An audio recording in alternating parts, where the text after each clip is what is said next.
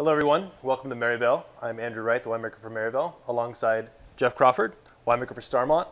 We are here today to talk about uh, Merlot, the 2017 Merryvale Coombsville Merlot, to be exact. And it's one of my favorite bottles that we make. I think, Jeff, primarily because I love cool climate Merlot in the Napa Valley, and this is just a killer expression of, of that.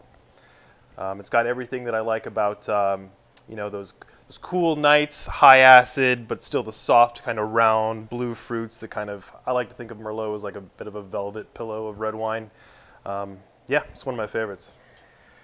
So as far as Coombsville, maybe uh, tell us a little bit about what that means in the context of Napa Valley. You mentioned cool climate, yeah. Uh, definitely a good example here, but uh, maybe maybe frame that a little bit more if you wouldn't mind. Yeah, sure. It's uh, it's closer to the bay, so it's further south in the Napa Valley, the southeastern part of the Napa Valley, and so you get uh, more of a maritime influence in terms of climate, but it's also you have, you know, the cooler nights, the diurnal shift, the high temperatures in the daytime and what that does is it allows those grapes to fully rest and respire, and the, the natural acidity they kind of retain a little bit better.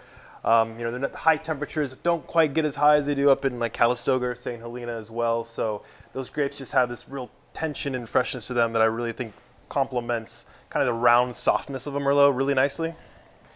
And one of the things that I like about it, exactly uh, as you mentioned, is that uh, that acidity, the tannins wrapped around that nice acidic yeah. core. Uh, Merlot is an early ripening varietal, uh, which is why it does well in the cool climate areas of uh, Carneros and Coombsville in southern Napa Valley with the uh, with the maritime influence, as you mentioned.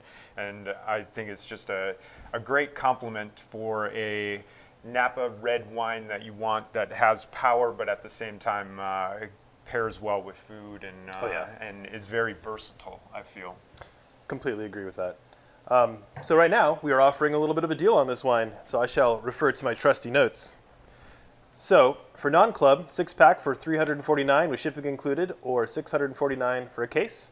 And if you're in the wine club, which I highly recommend everybody be a part of the wine club, six pack is for 299 with shipping included, or 559 for a case. So I highly recommend you pick some up, try some for yourself.